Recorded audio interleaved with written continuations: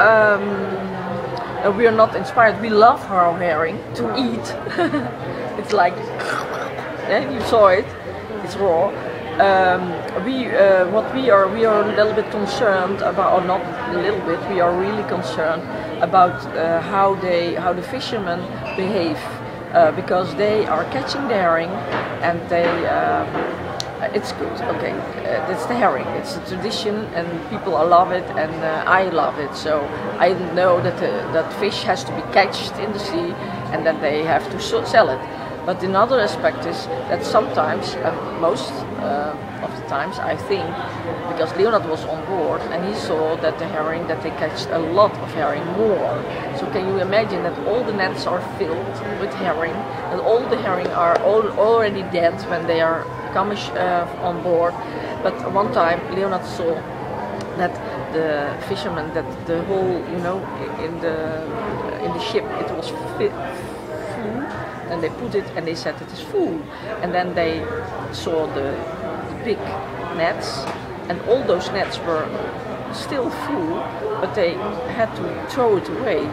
And I think that if they do it like that, there will be no herring anymore and uh, that is an environmental problem. And yeah, I, I, I'm very concerned with the environment, so I, yeah, I hope that they, they will behave and that, that if they see this film, watch this film, they never catch too much. It's a political thing.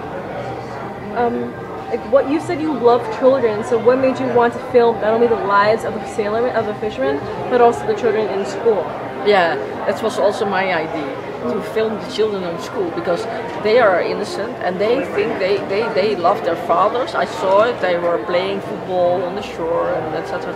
So I thought uh, all those children have one wish being a fisherman.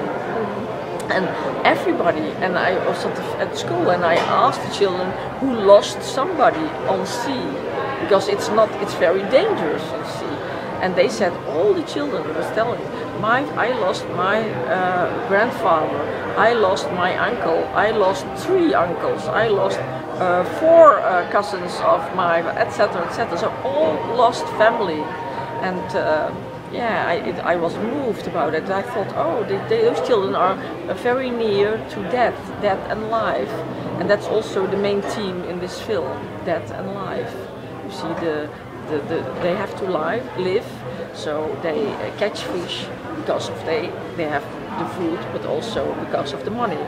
But on the other side, the fish will be dead, and also the, how children are different because there's one boy and he really cares about. Uh, he, we have I had one scene, but we had to cut it off.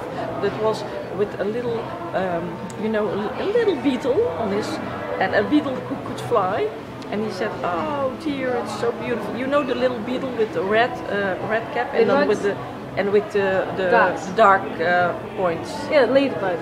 What's the name? Ladybug. A li ladybug. Yeah. yeah. He said, "Oh, the ladybug," and blah blah blah. And the others, oh, mm, like the, the, little fat boy. He said, "Oh, I don't uh, like it." But the same, the same thing happened with this. He said, "Look, look, it's blood, it's blood." And the other said, "No, it's berry juice."